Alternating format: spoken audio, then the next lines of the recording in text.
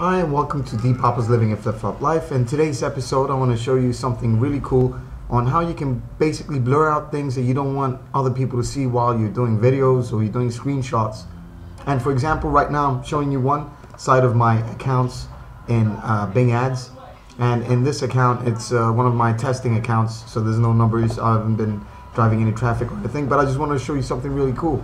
So if you're showing your ads to somebody, uh, and you don't want them to see the name of the campaign of the offer or whatever it is. You just easy blur it out just like that. That's how cool this is.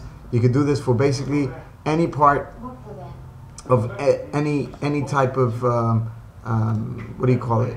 Um, anything that you want you can basically right click and easy blur things out. It's that simple. It's uh, an awesome tool that you can download um, it costs $20. Pick it up from my links below. This is my second product that I've created together with Chris Grant and Dave Prosser. Uh, a lot of marketing, internet marketing people know Dave Prosser. He's really well known in the affiliate marketing networking uh, uh, world.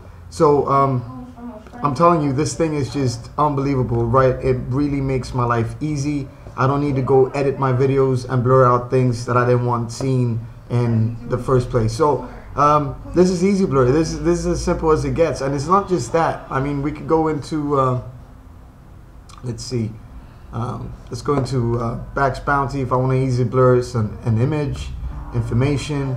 As you can see, I'm I'm just easy blurring things out just like that. It's like a game.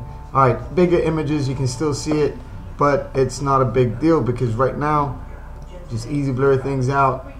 All right show people what you want to, see when you're doing a video. Alright, so pick it up. It's as simple as that. Easy blur, right click, easy blur things that you just don't want um, seen. Thanks a lot and talk to you soon. Peace out.